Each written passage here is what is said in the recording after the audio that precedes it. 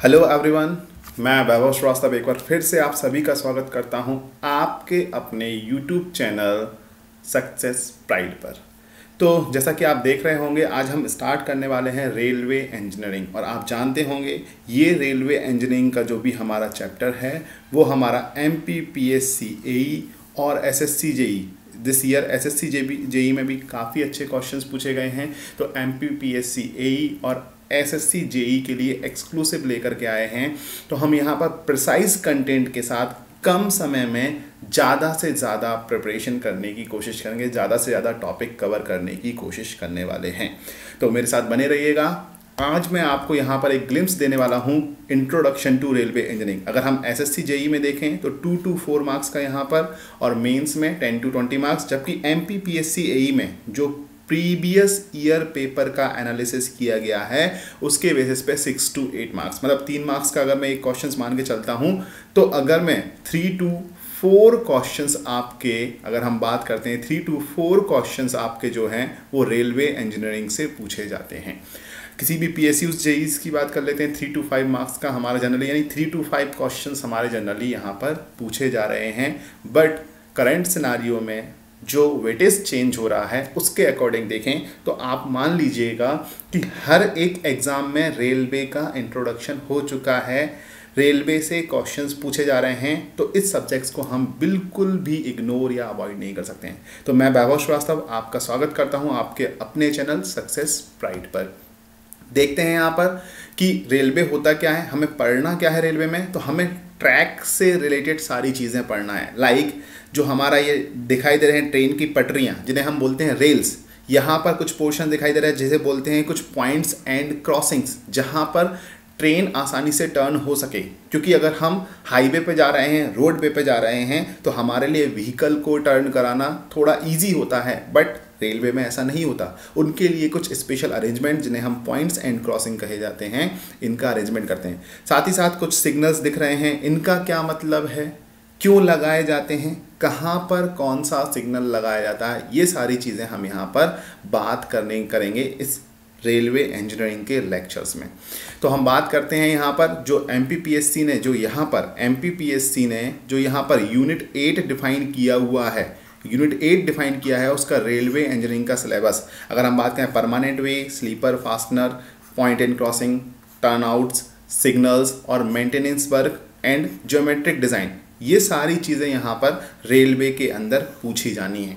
तो one by one, मैं इस पूरे पोर्शंस को आपको कंप्लीट करवाऊँगा और देखते हैं, इसको हम एक ऑर्गेनाइज्ड वे में कंप्लीट करेंगे। जो चीज़ हमें ज़रूरी है, उसको पहले पढ़ेंगे। जो लेस इंपॉर्टेंट है, उसको बाद में। ऐसा ना हो कि हम पहले वो चीज़ें पढ़ लें, जिनका इम्पोर्टेंस कम है। तो हमें अपना टाइम और अपना जो स्मार्ट प्रिपरेशन है, वो बिल्कुल स्मार्टली तरीके से करना है। तो इसलिए मैंने यहाँ पर पूरे के पूरे सिलेबस को पाँच सब्जेक्ट्स में या पाँच पार्ट्स में डिवाइड किया है। सबसे पहले हम इंट्रोडक्शन पढ़ेंगे। इस इंट्रोडक्शन के पार्ट में हम जानेंगे कि रेलवे है क्या। इसको परमानेंट वे क्यों कहा जाता है? रेलवे की बेसिक हिस्ट्री थोड़ी सी जानेंगे। साथ ही साथ हम जानेंगे रेलवे के जोन्स क्या क्या हैं और रेलवे का वर्क क्या क्या है। किस तरीके से रेलवे वर्क कर रहा है। या फिर कुछ स्पेशल प्रोविजंस हैं, वो प्रोविजंस को हमें जानना ज़रूरी है क्योंकि उन प्रोविजंस से भी हमें पूछा गया है। साथ ही साथ हम जानेंगे जब रेलवे ट्रैक हम बिछाते हैं या रेलवे ट्रैक को हम करते हैं तो उसका अलाइनमेंट फिक्स करने के लिए अलाइनमेंट फिक्स करने के लिए हम किस तरीके का सर्वे वर्क परफॉर्म करते हैं, उस सर्वे वर्क का ऑर्डर क्या होगा तो ये सारी बातें हम इंट्रोडक्शन वाले पार्ट में कंप्लीट करेंगे। तो एक पार्ट आपका कंप्लीट होगा। दूसरा रेल ट्रैक मटेरियल अगर हम बात करें तो रेलवे ट्रैक पे आपको डिफरेंट मटेरियल दिखेंगे। पहला दिखेगा रेल डिफरेंट टाइप्स की रेल यहाँ पर यूज़ होते हैं। ठीक है? तो रेल्स की हम बात करेंगे। दूसरा यदि मैं बात करता हूँ तो आपको दिखेंगे स्लीपर्स स्लीपर्स के फ़ंक्शंस क्या होते हैं, क्या होते हैं स्लीपर्स? तीसरा बैलास्ट की बात करते हैं, ठीक है? तो बैलास्ट की बात करते हैं बैलास्ट क्या होगा? बैलास्ट क्वेश्चन क्या होगा?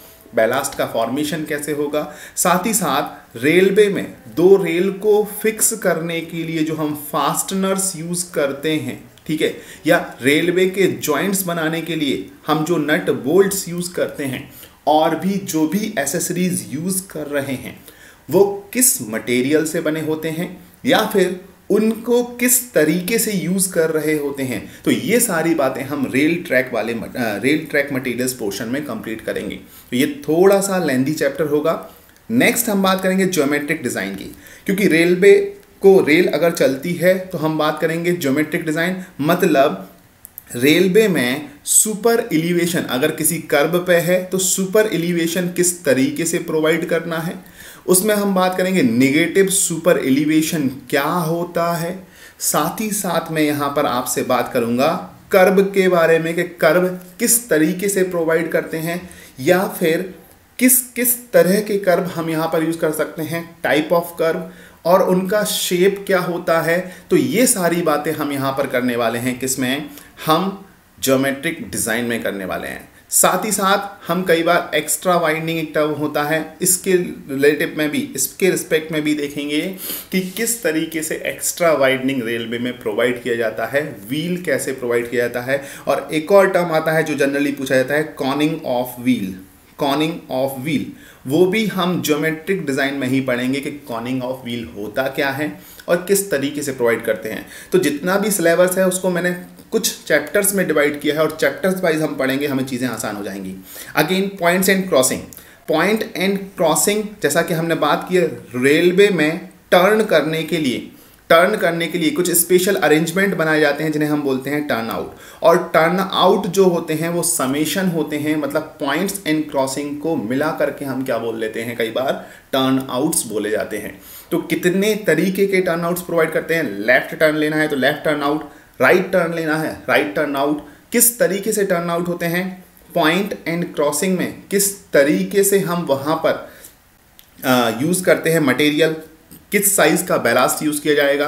कैसे स्लीपर्स यूज़ किए जाएँगे? स्लीपर्स में अगर हम बात करें तो स्लीपर्स की डेंसिटी कितनी होगी? मतलब एक किलोमीटर में कितने स्लीपर्स लगाएँगे? तो पॉइंट एंड क्रॉसिंग की जो डिज़ाइन होती है बहुत बहुत ही ज़्यादा एफिशिएंट होनी चाहिए, क्योंकि यही हमारे रेलवे ट्रैक के जो बीक पोर्शन कहे जाते हैं, वो कहे जाते हैं पॉइंट्स एंड क्रॉसिंग तो हमें ये, इनका बहुत ही बहुत ही सोच समझ के डिज़ाइन करनी होती है तो पॉइंट्स एंड क्रॉसिंग के बारे में पढ़ेंगे.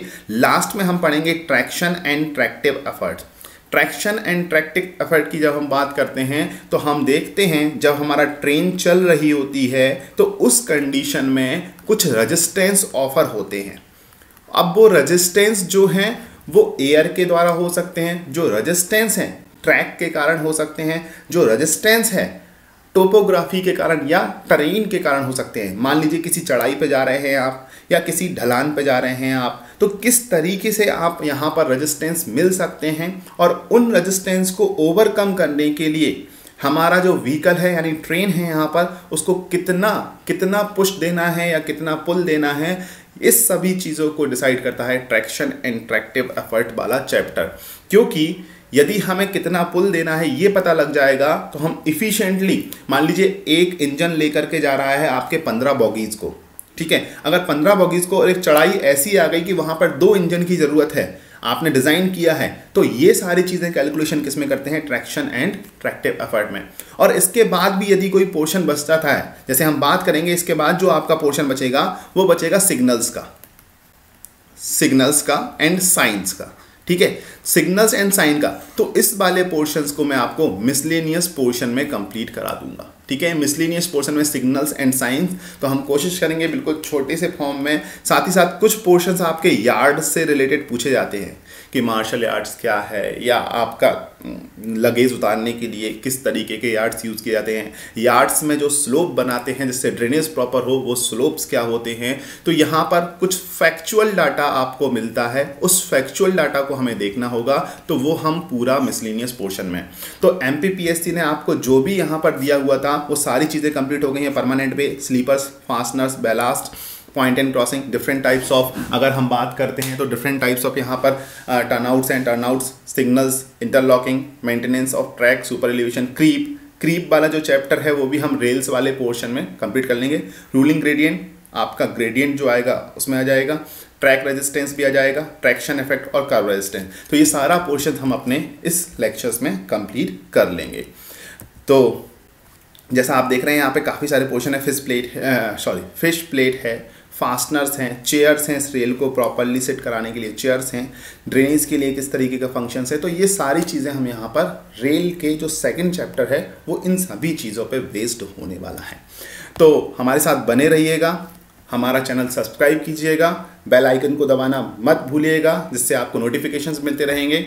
और यदि आपको लगता है कि आपके दोस्त भी प्रिपरेशन कर रहे हैं तो उनके साथ भी ये आप शेयर कर सकते हैं। साथ ही साथ कमेंट सेक्शन में बताइएगा, आपके जो भी डाउट हों क्वेरीज हों, उनको हम लेंगे।